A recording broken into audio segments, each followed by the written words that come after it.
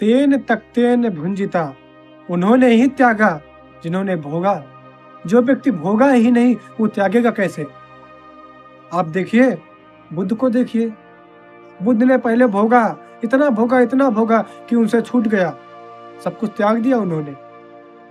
इसीलिए आप देखिए कि जितने भी आप, जैन के जितने भी तीर्थंकर हुए, सब के सब उन्होंने पहले भोगा, उसके बाद त्यागा। त्यागा ये कहे कि त्यागा ये सबसे अच्छा शब्द है कि उनसे छूट गया। उन्होंने त्यागा नहीं। स्थगित हो गया उनसे। छूट गया अपने आप। उन्होंने धन को इतना अधिक धन को भोग लिया। माया को सब भोग लिया। सब कुछ भोग लिया। उसके बाद अपने आप छूट गया।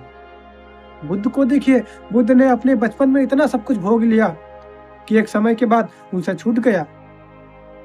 इसीलिए कहते हैं कि अगर आपको छोड़ना है अगर आपको साधु बनना है तो भोगो।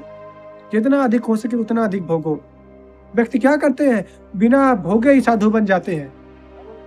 इसीलिए हमारे सनातन धर्म में फिर सारे धर्मों में कहे तो विवाह की परंपरा है। पहले धन कमाओ, फिर विवाह करो खूब अधिक भोग लो, फिर भोगोगे जैसे ही आपने भोगा, उसके तुरंत पश्चात त्याग हो जाएगा। सब त्याग देंगे। आप देखिए कि जितने भी गरीब हैं, ये त्याग क्यों नहीं पाती है? क्योंकि उन्होंने भोगा ही नहीं। और बड़े बड़े अमीरों को बड़े बड़े धनवान को देखिए, इतना अधिक धन है, उन्होंने उतना अधिक भोगा, और जितना अधिक उन्होंने भोगा, उतनी जल्दी उन्होंने त्याग दिया। त्याग का समांतर है भोग।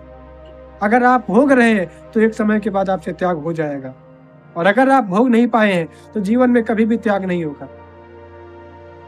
इसीलिए कहा जाता है कि भोगो जितना अधिक भोग सको भोगो, एक समय के बाद सब त्याग जाएगा अपने आप। कहते, तेन तक तेन भुंजिता। उन्होंने ही त्यागा जिन्होंने